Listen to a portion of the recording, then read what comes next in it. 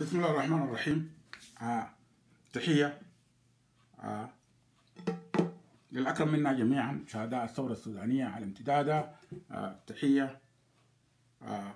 وعاجل آه. الشفاء للجرحى آه. والمصابين وعودا حميدا للمفقودين والتحية لكم عبركم آه. لجموع الشعب السوداني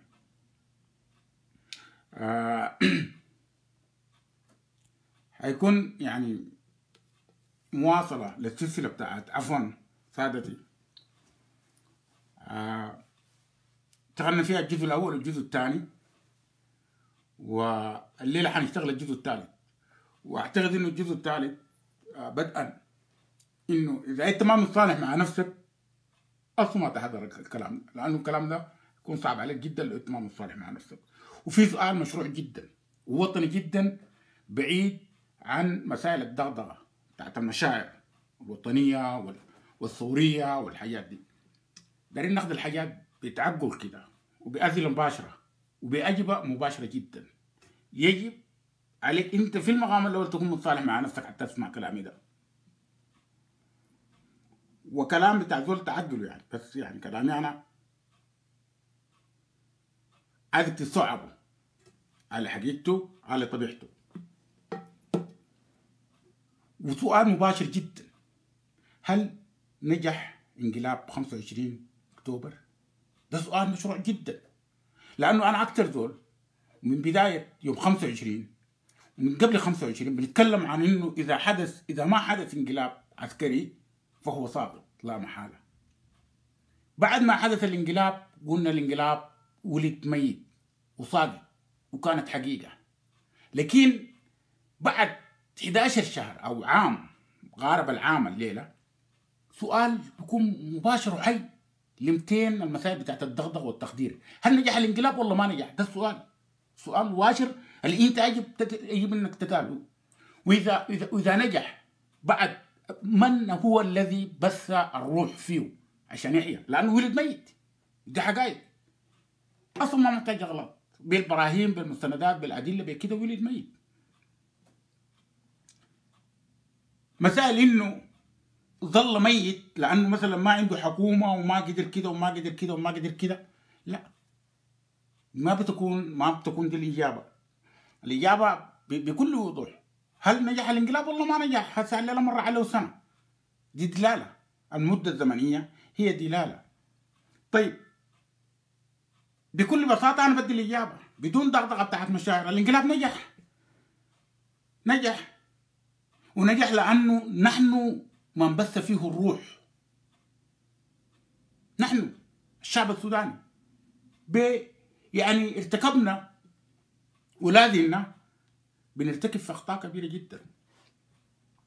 وأنا ما أعتقد ان كل هذه الأخطاء هي يعني أخطاء دون قصد في فيها القصد وفيها الما فيها العفوي فيها الأخطاء العفوية وفيها الأخطاء الما عفويه وأنا بقول إنه في في في عوامل عدة ساهمت بشكل مباشر في بث الروح. وأنا الكلام اللي بقوله ده داير يجي يفكر فيه كويس. لأنه بعدين أنا داير داير أخط المخرج من وجهة نظري أنا. بعد كده الناس برضو تركز فيها وتشوفها الإنقلاب نجح. غصبا عننا. آه غصبا عن مشاعرنا. غصبا عن إنه الكلمة دي ما- لكن الإنقلاب نجح. ما في ذلك الليلة يجي ذول آه عاقل كده بيعرف سياسة بيقدر يحلل بيعرف بي- بي- بيخط ال- الصورة كده بركبها مع بعض وبيقرأها كويس عنده قراءات كويسة جدا ما حدث امس وما يحدث الليلة ويربط مع ما يمكن حدوثه بعد عشر يوم أو شهر الانقلاب نجح. ونجح لعدة عوامل والعوامل دي مرتبطة بيننا نحن. قوة سياسية اللي هي مقاومة كويس. ديل لعبوا دور كبير جدا في إنجاح الانقلاب عشان ما ما- يعني ما نغطي هناك. يعني طيب أنا أنا أنا قلت الكلام ده وقلته يمكن في مليون live وحتى حقوله تاني إنه أنا من شهر 5 2019 قاعد أحذر في القوى السياسية من حالة الاستقطاب داخل لجان المقاومة لانها دي بيكون عامل بتاع اجهاض كبير جدا لأي سيناريو محتمل في اجهاض هذه الثورة. الكلام ده شهر خمسة والكلام ده مسجل وقاعد في اليوتيوب. وقاعد في الفيسبوك ده. وأي شهر خمسة أنت لو جيت في صفحتي تلقى ال live ده موجود. إنه يا إخواننا المسائل بتاعت الاستقطاب.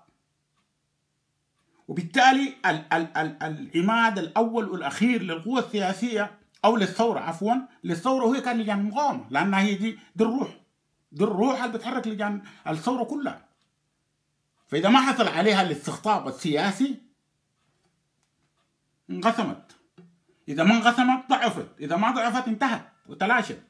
وحقائق يعني الليلة نحن نشوف مواكبنا ما يعني شوف المواكب الحاصل فيها شنو؟ التدريج النازل ده. كده خلينا نكون واضحين فيه. ليه المواكب ما زي ما كانت. ولا واحد من عشرة مما كانت عليه. صحيح في في في مقاومات وحاجات زي دي لكن أصبحت دي المقاومة بتاعت الاستقطاب السياسي. ما المقاومة بتاعت العمل الثوري. وديل بيختلفوا تماما.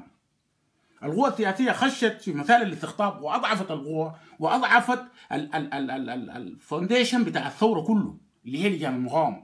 خشت في حالة بتاعت الاستقطاب السياسي وأصبح دورها سياسي وليس ثوري. وهنا في اختلاف كبير جدا. يعني لجان المقاومة الليلة بدل العمل الثوري بتاع اللي كانت ماشية فيه وده ده ده مجاله وده حاجاته. ودي تضحيات قاعدة تقدمها المقدره كبيرة جدا وبنقدرها لها لكن بنلقاها شنو؟ قامت اتجهت لإنه شنو؟ والله عندنا مشروع وعندنا تحولت لشنو؟ لجسم سياسي وبالتالي ضعفت. لأنه مجرد ما خشت السياسة بتخش الآراء المختلفه بيخش الاختلاف وخشت بأجندة أيديولوجية للقوى السياسية الموجودة. وأصبح لكل قوة سياسية ب... ما جنجويد هسه أصبحت عندهم لجان مقاومه عشان نكون واضحين يعني. أضعفت ال foundation بتاع الثورة. وده أكبر حاجة كان بيراهن عليها الانقلاب العسكري. عشان اوريك انه الانقلاب العسكري كان أذكى ومش أذكى بس يعني التخطيط الخارجي والحاجات دي لكن القوى السياسيه لانها أصلا ضعيفة ما عندها الإمكانية الكبيرة دي وبالتالي شنو؟ بتكون شنو؟ عادة بتكون غنيمة سهلة. الافتراس تفترسها بشكل واضح. وهي كمان لعبت دور في إنها تفترس لجان المقاومة. وأصبحت لجان المقاومة الليلة اجسام سياسية. وبالتالي فقدت الدعم اللي كانت بتجده. لانها كان دور ثوري. لما هي كانت أجسام ثورية كانت لقت الدعم الكامل. الليلة لما تحولت لأجسام سياسية وأصبح هنا ناطق وأصبح هنا في برنامج سياسي وأصبح في ميثاق وأصبح هنا انفرط عقد الثورة. لأنه ده الفونديشن بتاعه. ده ده, ده, ده الأساس. ده الجنود الثورة. وده الكلام اللي كنا بنحذر منه. إذا قلنا أكبر عامل ممكن يساهم في إنجاح اجهاض الثورة هو شنو؟ الاستقطاب السياسي داخل لجان المقاومة.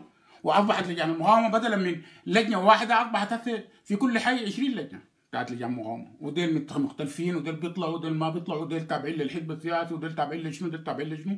وأي حزب عنده منافسته وأي حزب عنده أجندة وأي حزب عنده ده جانب أول ساهم بشكل مباشر في إنجاح الانقلاب. بالرغم من المقاومة الشرسة اللي كانت بدت لكن سرعان ما تلاشت. وأصبحت يعني ما ذات الرؤية دي. صحيح ما ما بنقلل من التضحيات اللي بتقدم ما بنقلل من من من الحراك اللي بيحصل. لكن ما ما, بالطموح بتاع الثورة أو ما بحجمها أصلا اللي كان. وبالتالي لابد من وقفة. لأنه الله الواحد ما يبغى التلوث وحتكون التضحيات مستمرة إذا ما استمرينا في الصمت ده. وبالتالي يجب إنه شنو؟ الناس تواجه الحاجات. عشان كده أنا بقول إنت لو ما مصالح مع نفسك ما تسمع كلامي ده. دي الحاجة الأولى. القوى السياسيه طيب القوى السياسيه عندما خرج حمدوك في 21 11 وقع مع الانقلاب كانت بمثابة شرعية الانقلاب واحياء ده بس الروح. دي كانت النقطة الأولى حتى قبل اللي جاء النقاب ده كان بس الروح الأول. ثم ثم جلوس قوى الحرية والتغيير مع المكون العسكري. بأي صفة كانت وبشكل مباشر أو غير مباشر بغض النظر عن التسميات دي كان بطل الروح واحتراف إعلان التغيير الجذري. كان مساهم مساهمة كبيرة جدا في الاشهاط لأنه برضه شنو؟ فرق أنا ما أقدر أتكلم عن الحركات المسلحه باعتبار إنها هي أصلا جزء من الانقلاب. أصلا أفضل هي جزء من الانقلاب.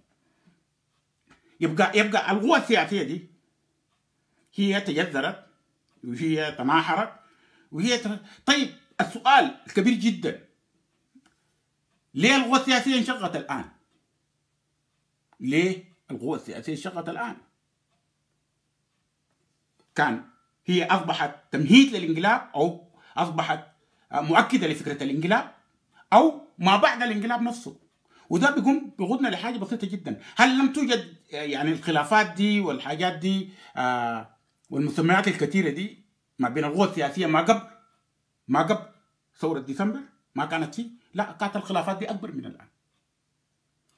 لكن فجأة الناس دي قعدت. لما الثورة مشت وفرضت أجندتها الناس دي قعدت وقامت بخلافاتها دي خطت هدف واحد اللي هو شنو؟ المهمه الاولى تكون اضغاط النظام. وبعد كده ممكن تم إضغاط النظام على المستوى الجزئي ده أو على المستوى الرمزي. طيب ليه الناس ما واصلت في جهدها إلى أن تصل لبر الأمان يعني؟ وتحسم مسألة بتاعت إنه أي ردة أو أو أو أي حالة بتاعت انقلاب أو أي حالة بتاعت آآ آآ آآ ثورة مضادة من النظام البايت أو من الكيزان أو كده وكده وتمهد لفترة واحياء دولة مدنية وفترة ديمقراطية جديدة تقوم تضع اسسها يعني من من من دستور ومن كده ومن كده وتخلق يعني تحاول عمليا تطبق شعارات الثوره في وحدة حرية وسلام. وعداله تحقق الحاجات دي الشروط دي وبعد كده شنو؟ ممكن ترجع لخلافات الايديولوجيه أو خلافات الكده أو كده وكده وكده. لأن أصلا مساله الهبوط الناعم مساله إنه في ناس كانت حتخش انتخابات هناك دي كانت أصلا موجود الكلام ده. ما موجود ما من الليلة ولا من أمس ولا من أول أمس. الكلام ده موجود. موجود من بدري من بدري جدا من قبل الثورة بسنين يعني. وعلى موجبها أصبحت هنالك تحالفات سياسية معروفة. يبقى إنت الليلة لما تجي تطلع الخلافات دي في في في في في في قمه الأزمة نفسها إنت بتساهم مع منو إنت؟ إنت ما بتساهم في الثورة. صحيح إنت بتطرح كلام لكن هو كلام إنشائي. هو كلام إنشائي عمليا لا يوجد. ما عنده تأثير.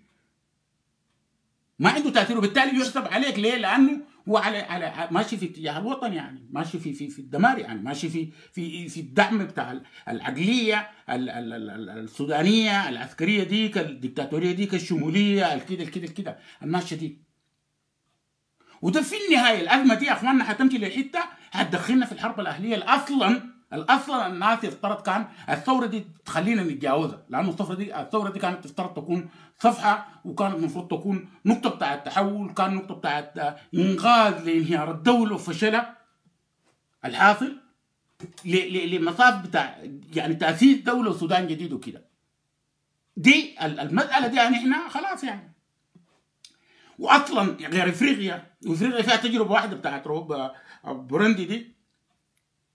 رواندا ما في تاني أصلا يعني في إفريقيا ما في دولة خشت في حرب أهلية تاني طلعت منها. يعني نمسك الصومال نمسك يعني خشوا في المسائل دي. يمكن سيراليون نوعا ما و... ورواندا هسه هنا يعني. لكن لو مسكنا الغرب ومسكنا أوروبا الكلام ده كله بتاع هناك الدول دي كلها ما بقت دولة إلا بعد حروب أهلية. دي الحقيقة. كمان إلا بعد حروب أهلية. لما الناس عرفت الحافظ شنو. وكلها قدرت ترتبط ببعض وقدرت تعيش مع بعض وقدرت تقعد مع بعض. يبقى يبقى يبقى يبقى الانقلاب نجح. ونجح من نجحت القوى السياسيه اللي قامت لعبت دور كبير جدا في إنها تهشم دور اللجان المقاومه وتحوله من دور ثوري لدور سياسي. واصلا هي القوى السياسيه يبقى بعد كده